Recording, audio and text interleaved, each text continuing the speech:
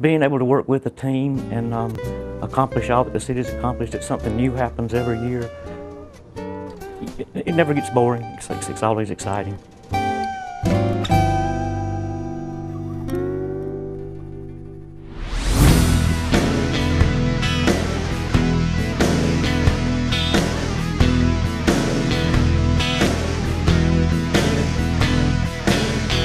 When the city assumed responsibility for the Greenville Transit Authority in 2008, it quickly became apparent that a significant repair effort was necessary for the new GreenLink system to maintain routes and operate safe buses. Gordon King was assigned to the GreenLink maintenance shop to help repair vehicles, organize parts, train mechanics, assure compliance with city policies, and provide overall supervision. Beginning as a fleet services mechanic for the city of Greenville 33 years ago, Gordon serves today as garage superintendent. Thanks in large part to Gordon King's knowledge and dedication, the GreenLink fleet provides Greenville's residents and visitors with safe, reliable transportation.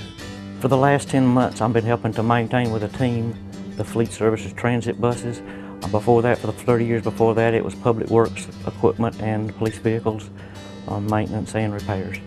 The first job I ever had was in cutting grass with lawnmowers that my grandfather made me put together out of parts. The worst job I ever had was cleaning out horse stalls. When the city decided to take on the buses, Gordon was planning and preparing before day one, trying to figure out what his role was going to be in it and how he could make the transition easier for everybody. He just loves the challenge.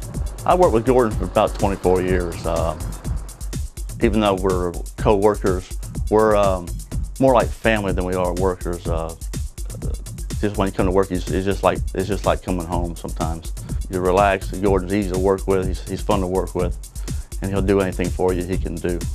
There he comes. See what he's got me working on now. Yeah, there's two. We got two new ones we can go ahead and put on here, and then we can compare how the recaps do against the new ones on the. If that one's still in there, we'll have to drill it back out. So this is ready to go.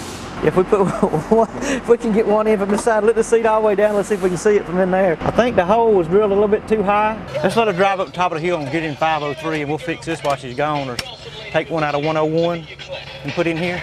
Traffic and road construction killing them again today. Hey Rick, it's Gordon over at GreenLink. Looking for a seat belt for an 04 E450 cutaway van, driver seat belt. Seat belt won't be here till tomorrow. If 101 comes back, we can pull the one out of it and put in 502. If we take a bolt and a nut in the washer, I think we can do this. Gordon King has worked with our program here uh, at Bonds Career Center for the last eight years. Uh, he's been on an advisory committee, which we get business industry people to work with the school to help us to train our students in the way that they can be used within the community. And he's been very helpful, very supportive of us, and uh, really has been somebody that uh, you know we we've needed and we can count on him. He's always at our meetings and uh, just just a great guy.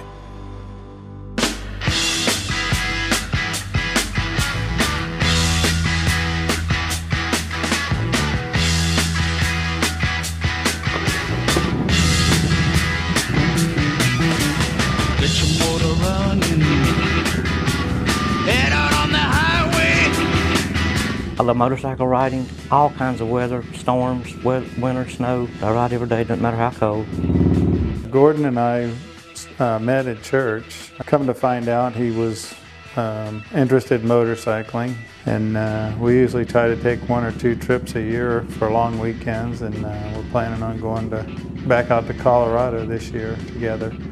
Uh, we got to ride out there on the bikes last year and had a really good time. My favorite place to go on vacation would be anywhere my motorcycle would take me. Last year it was Colorado, 4,343 miles in 10 days. Maybe the same place again this year, but just wherever the motorcycle goes, where I like to go.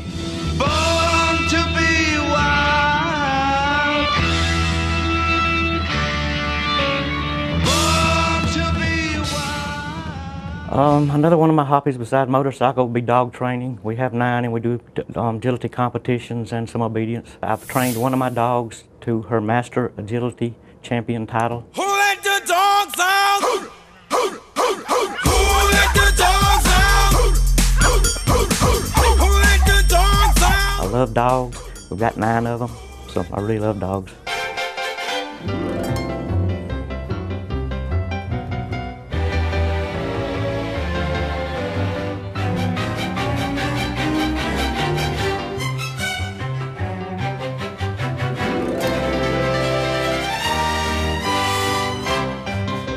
Thing that keeps me coming back to work every day besides a paycheck would be the challenge.